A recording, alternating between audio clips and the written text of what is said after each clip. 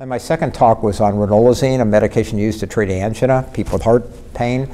And uh, in clinical trials that have been carried out before with that agent, there had been some lowering of hemoglobin A1C. So it looked like it may have a benefit in patients with diabetes.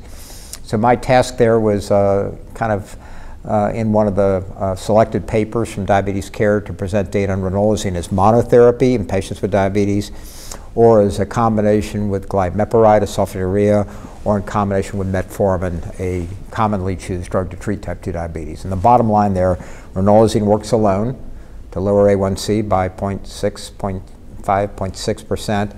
Ranolazine works on top of glimepiride with about a 0.5% lowering of A1C, and with metformin there was no benefit. And, and the reason for that, we think in part relates to the reduction in metformin dose that was necessary in the ranolazine group because of the effect of ranolazine on metformin metabolism. In other words, metformin levels are higher, so the dose of metformin was reduced uh, to accommodate the drug-drug interaction. And the thought there is the lack of benefit was due to the fact that the metformin dose wasn't adequate. So the trial simply looked at three options, alone or with glimepiride or with metformin. And again, two, two of those three worked. And the idea here is not necessarily to, to think ranolazine is going to be a, another drug to treat diabetes with. It's just in people with angina who, who take the drug, it, it would appear to be maybe a reasonable choice if they have diabetes, maybe to use that drug for both combinations for angina.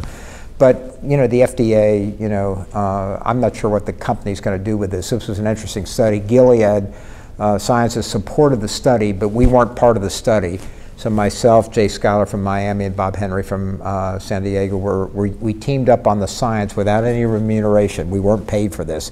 We just thought the data needed to be published, and Gilead wanted our assistance in bringing the data forward.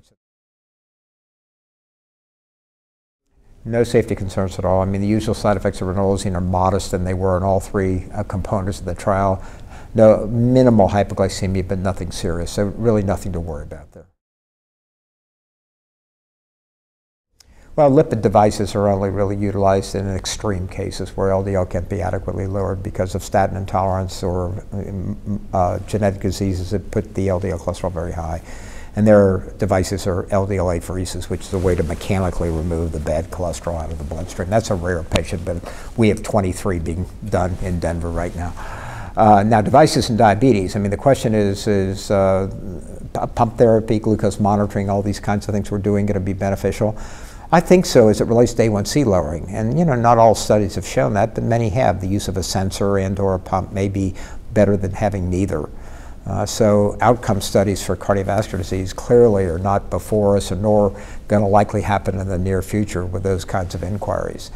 But you know, um, the artificial pancreas, where there's an intrinsic control system between glucose and insulin delivery, is another question because there I think we can control diabetes as if the disease wasn't present if everything is optimal in terms of how it functions.